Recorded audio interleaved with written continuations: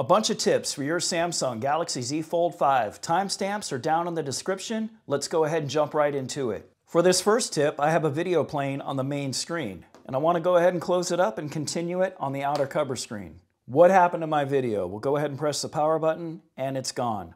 I want to be able to continue apps on the main outer screen. Let's go ahead and take care of that. Swipe down to open up your Quick Toggles menu, tap on the Settings icon, scroll down until you get to Display, and then in the display section, you want to scroll all the way down until you see this option, Continue Apps on Cover Screen. Go ahead and tap on that. This is going to give you a couple options. The ability to turn on all apps so they get displayed on the outer cover screen, or we can selectively go through and pick which apps we want to continue on the cover screen one by one. Do keep in mind, if you turn on the All Apps toggle, it's not going to necessarily carry over all system apps and system dialogues. However, we have an upcoming tip that'll take care of that. But for the time being here, let's go ahead and toggle all apps so we get all of the main apps carried over to our main cover screen. And let's try this again. All right, here we are playing our YouTube video. Let's go ahead and close up the Z Fold 5. And there's our video, continuing on the front cover screen.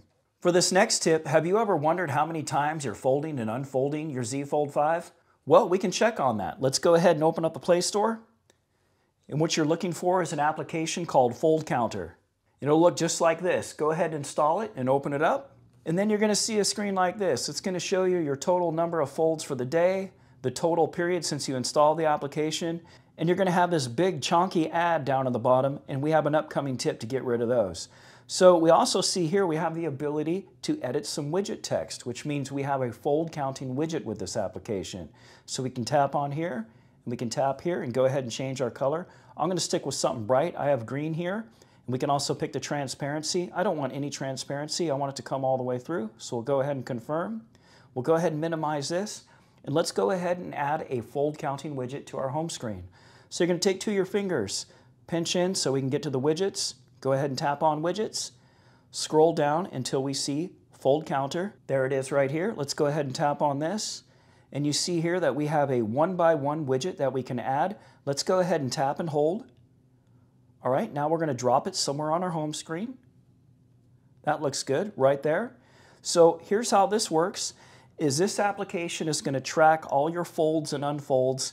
So now we're going to go ahead and fold it. And we'll go ahead and unfold it again and go ahead and get back in. I'm using a fingerprint scanner for biometrics and you'll see it up the count to eight. Let's go ahead and do that again. Go ahead and unfold it and it up the count to nine. However, one thing to keep in mind, what I do notice about this app and via another way that we learned how to do this with Bixby routines with like the Z Fold 3 is that if you have the power off like this and you go to fold it and unfold it, it doesn't always accurately track it. It did this time, it counted the fold, but I wouldn't count on it to be 100% effective if you do have the power off. For our next tip, one thing that kind of drives me nuts is we have to swipe down two times to get to our brightness slider. Let's go ahead and fix that real quick. Swipe down to get to your quick toggles. Swipe down again to extend the full menu here. You're going to tap on the three ellipsis menu here at the top right. And then we're going to tap on quick panel layout. Once there, we have this brightness control. Go ahead and tap on the blue text. And we're going to switch this option to show always. Go ahead and tap on that. Tap done. We'll go ahead and exit out of everything here. And now when we swipe down on our quick toggles, our brightness slider will be right there with it. For our next tip, if you're like brand new to the Z Fold series or these Galaxy devices in general, you gotta make sure Dolby Atmos is turned on. Swipe down two times so you get to all your quick toggles, scroll over to the right, and then Dolby Atmos is right there. Wanna go ahead and tap on that to turn on that toggle? That's gonna definitely boost your audio performance. For our next tip, did you know that you can use your main shooters to actually take selfies? Let me show you how to do it real quick. Start by opening up the camera application. Make sure you're in photo mode and you have one of the rear lenses selected. Up here in the top right hand corner, you want to go ahead and tap the rightmost icon. That's going to let you know that it's going in self-portrait mode when using the rear lenses. Now when we flip the device over, you're going to see it pointing straight up at my YouTube camera. We're now taking selfies with the main shooters. For this next tip, let's go ahead and improve Wi-Fi performance on our Z Fold 5 when using it with our home wireless networks. Swipe down, we're going to go ahead and open up settings, tap on connections, tap on Wi-Fi, tap on the three dot menu up here in the top right corner. And there's an option for intelligent Wi-Fi. Let's go ahead and tap on that. Scroll all the way down until you get to the bottom. Now you're going to tap on intelligent Wi-Fi a whole bunch of times. Let's go ahead and do that real quick. All right. Scroll down a little bit further and you see that you now have an option called Wi-Fi Developer Options. Go ahead and tap on that. And then we want to pick this middle option here, Nearby Wi-Fi Information. Go ahead and tap on that. Once you're here, go ahead and tap on the rightmost text here. It's called Channel Utilization. Tap on that. Now what you're going to see right here is some text that's going to tell you what is the best channel for your 2.4 gigahertz band and what is the best channel to use with your 5 gigahertz band. So what you're able to do is take these two channels, go into your wireless router and update it to use these channels for 2.4 and 5 gigahertz. This is going to give you the best network bandwidth in your home wireless network. So basically you have this tool built into your Samsung phone that's telling you what are the best channels to use for each one of the bands in your home wireless network. That's pretty awesome. All right, for this next tip, remember earlier we talked about not all apps getting carried over to the front cover screen? Well, here's a way that we can guarantee that everything gets piped over to the cover screen when you're viewing it on the main screen. First thing you need is Samsung Good Lock. If you don't know what Good Lock is, I'm going to go ahead and drop a link down in the description so you can get familiar with it.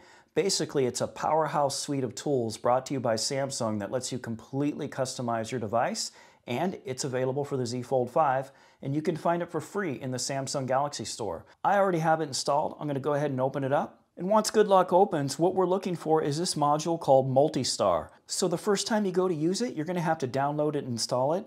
Just like right here you see for Nice Shot, it's given me a download link here. So it's the same thing for Multishot. It's a one-time deal, and once you have it installed, you're going to go ahead and open it up, and you're going to see we have a section strictly for our foldable device. Let's go ahead and tap on that. And if you scroll down just a little bit, you're going to see an option here, Continue All Apps on Cover Screen. And if you go ahead and turn this on, everything that's on your main screen will get sent over to your cover screen when it's folded up.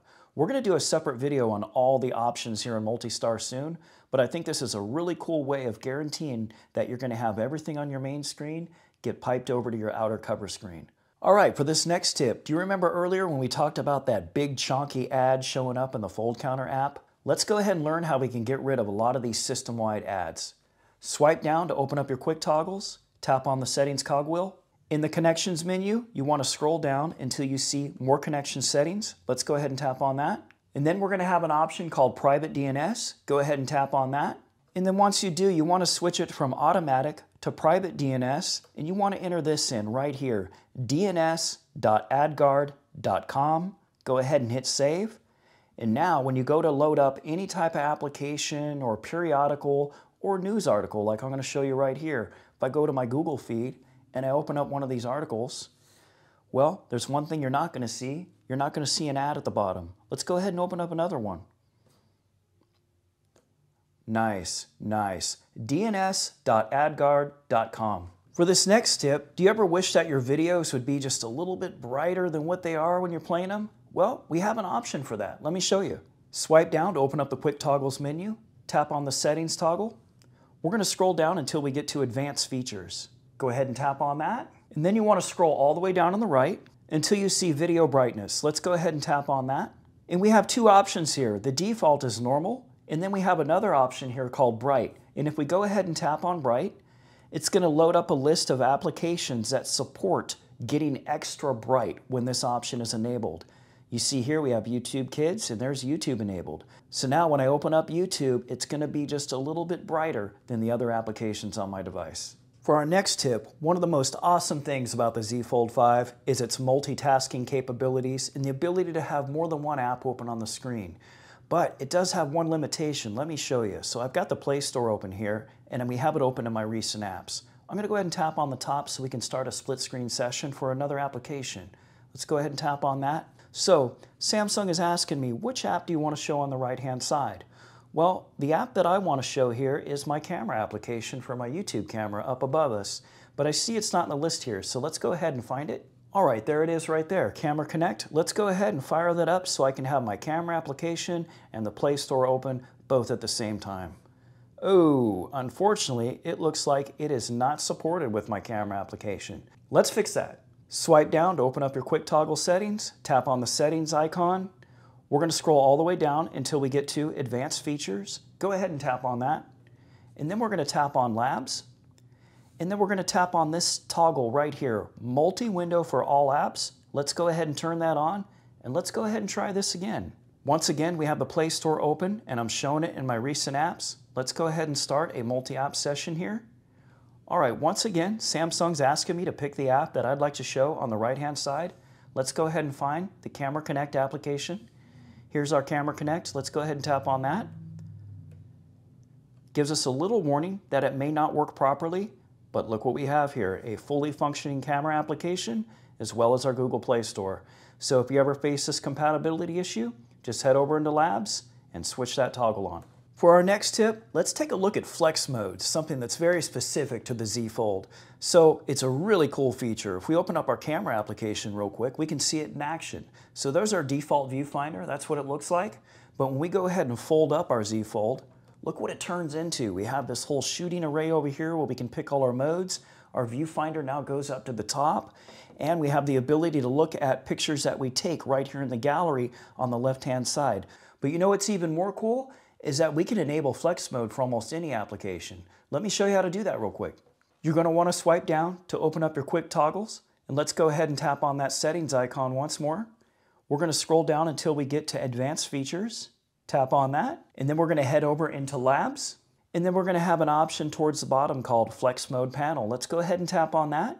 You see here that we have the option to enable our flex mode panel and we also have the ability down here to fine tune the applications that we want this to turn on by default. So this is an awesome way for you to add that bottom functionality to almost any application on your phone. All right, so that wraps up the first round of tips and tricks for the Galaxy Z Fold 5. We're gonna have a lot more of these coming, and I hope you enjoyed this video. You notice we didn't really touch on too many generic Android tips. Most of these tips were specific to the Z Fold. If you have any questions or comments about today's video, please drop them down in the comments section below. I always appreciate your time, and as always, thanks for watching.